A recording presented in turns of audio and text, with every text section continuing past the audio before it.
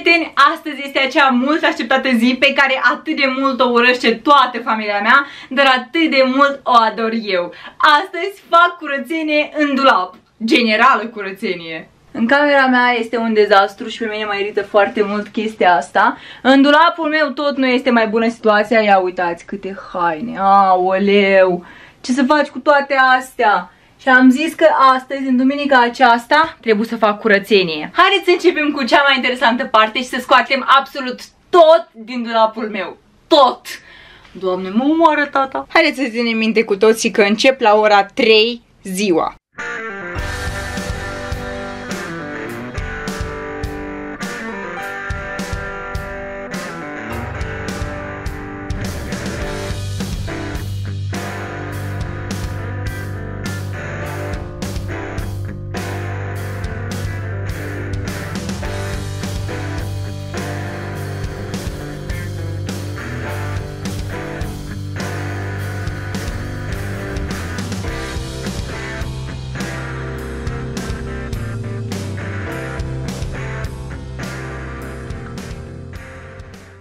Am golit toate rafturile, din câte vedeți nu a rămas nicio hăinuță. Iată, nici aici, nici o hăinuță. Doar că uitați ce se întâmplă aici în dulapul meu și nu-mi place, nu mai am spațiu. Iată, uitați. Tot ce vrei găsești aici, nu-mi place. Dar iată, asta e ceva aparte. Doamne ferește! Și asta nu sunt toate hainele mele, asta sunt doar hainele de vară, voi înțelegeți? Doamne, ce mă fac? Ce mă fac cu atâtea haine? Aveam în plan de fapt să-mi spăl și toate încălțămintele de vară ca să pot să mă înlocuiesc cu aia de toamnă și de iarnă. Dar nu știu, o să vedem cum o să reușesc. Vai, când, mă, când văd ce aici, tocmai mă ia groaza și îmi pierd cuvintele. Am dat aspiratorul pe aici și am scos totul de aici și nu vreți să știți cum arată acum camera mea. E invadată cu de toate, deci nu am nici măcar un loc liber pe unde să calc. ce e asta? Da, doamne! Acum am ajuns la partea când probez blugii ca să văd pe care îi păstrez și pe care nu. Ăștia îi păstrez și mergem mai departe să probăm. Următoarea pereche, nu se vede absolut nimic, dar îi păstrez și pe ăștia. Sunt skinny, dar eu îi păstrez. Încă o pereche de skinny. Ce să zic, nu știu, probabil îi păstrez și pe ăștia. Dar nu pot să zic că foarte mult îmi plac. Până când m-am clarificat cu foarte puține chestii, am pus aici niște blugi, Aici am două perechi de blugi, a, nu mai mulți blugi, pantaloni. Aici am zis că îmi pun toate pijamalele. Și aici am topuri, aici am hainele pentru sală, leggings și tricouri, malete și aici vor fi toate hainele pe care le voi purta pe acasă. Sper să încapă aici. Și, taram, ciorapii, șosetele, spuneți-le cum doriți. Vreau să îmi comand um, un suport special pentru toate șosetele, dar până când așa, în cutie. Deci parcă par deja mai puține haine. Eu uitați-vă cum am aranjat toate umerașele aparte. Aici sunt hainele pe care le voi urca sus, fiindcă sunt de vară și nu le voi mai purta. Cutia cu hainele astea va pleca la gunoi, evident telefonul nu, dar cutia da. Aici sunt tricourile pe care le voi lăsa pe umerașe, asta voi lăsa, asta voi lăsa, iar asta cred că voi ridica sus. Însă cu astea încă nu m-am clarificat. Uitați că am pus deja totul pe umerașe și acum trebuie să mă gândesc cum să le pun în dulap le-am pus cumva după culori, după tricouri, topuri, cămeși, nu știu ce s-a primit, dar vedem. Deci, cămeșile pe toate le-am pus aici, blugii tot, dar o să se mai adauge aici blugi și topurile și tricourile le-am pus aici pentru că eu dacă o să filmez am nevoie de ceva, iată am început cu negru, după la alb am trecut, de la bej la maro, și după la colorate. Am încercat așa, cât de cât, să le las pe cele pe care o să le folosesc. Dar asta încă deloc nu este tot. Doamne, când îmi dau seama ce mă așteaptă. Deci aici am mai adăugat ceva hăinuțe acolo și cam așa arată până când. Iar aici sunt toate rochițele mele și le-am pus în pungi din astea. Și acolo mai sunt și acum trebuie să mă clarific cu asta. Și cu hainele de iarnă care trebuie să le scot din dulap. Deci m-am ocupat acum cu tot ce este acolo sus. Aici sunt uh, ceva haine care nu le mai port.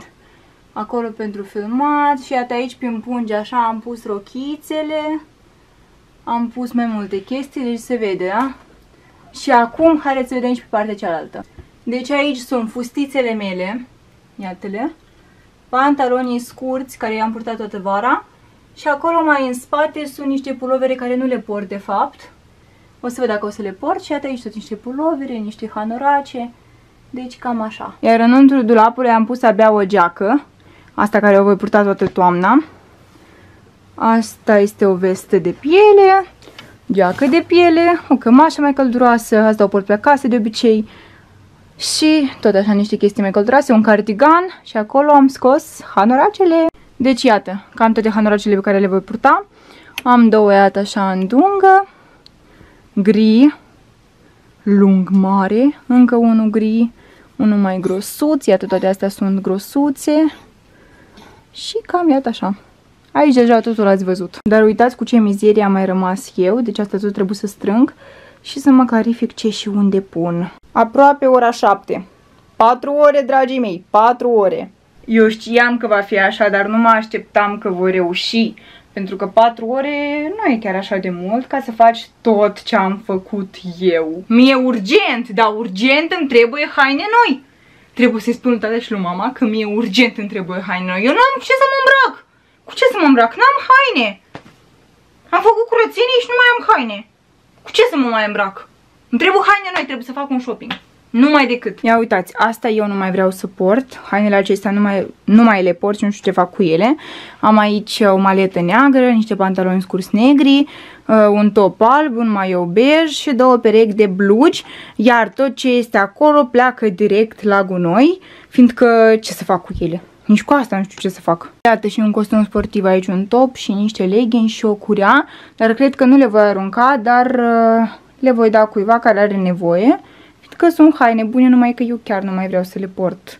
Care îmi sunt mari, majoritatea din astea îmi sunt mari și cureaua asta nu o mai folosesc pur și simplu. A, și iată și acest el. Tot așa, nu-l mai folosesc pentru că am trecut pe gentuțe. Am găsit și perechea asta de șlapi, nu am purtat-o deloc vara asta. Nu știu, cred că am uitat de ei. Dar iată, stăteau la mine în dulap. Nu știu dacă o să-i port, vedem. Dar nu prea cred, că par cam copilărești. Mai pe scurt, dulapul meu acum arată așa, mult mai bine cum arăta când am început să filmez. Și iată și jos aici, totul este aranjat, ordonat. Eu zic că este momentul perfect să merg să-mi cumpăr haine noi, ca să umplem cu totul dulapul. Și uitați ce cutie am mai găsit cu diferite cabluri, domnule, la câte cabluri sunt aici. Nici nu știu de, de la ce sunt toate. Mai lucrează, nu mai lucrează. Iată ce să faci cu toate astea. Îmi spune și mie? Doamne ferește. O închid și data viitoare când voi face din nou curățenie, iarăși o voi găsi, pentru că n-am idee ce să fac cu ea. Eu le-aș arunca pe toate, dacă sincer. Acolo tot asta la fel este la gunoi, pentru că sunt ceva pungi, ceva cutii, ceva ce nu mai folosesc și nu are rost să le mai țin. Trebuie să scap de ele și să le arunc. Și au rămas aici trei cutii goale, care probabil o să le țin în dulap, pentru orice eventualitate să, dacă vom avea nevoie odată și odată, păi să nu regret după că le-am aruncat. Haideți să ne amintim cu toții cum arăta patul meu înainte acestui videoclip.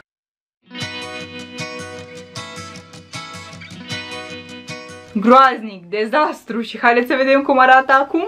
În sfârșit e curățel fără nicio hăinuță, mă bucur mult. După cum am spus și la începutul acestui videoclip, eu ador să fac o astfel de curățenie în dulap. Și sper că nu sunt singura care iubește o dată la câteva luni, de obicei o dată la 2-3 luni să fac revizie în dulapul meu, să mai rearanjez toate la locurile lor, să mai arunc niște haine, să le mai dau cuiva, să-mi cumpăr alte hăinuțe noi. Sper că nu sunt singura deci vă rog frumos să mă apreciați cu un like și să mă susțineți pentru că părinții mei mereu zic că nu are niciun sens ceea ce fac, dar mie mi se pare că e un mare sens, fiindcă acum îmi place mult mai mult cum arată dulapul meu.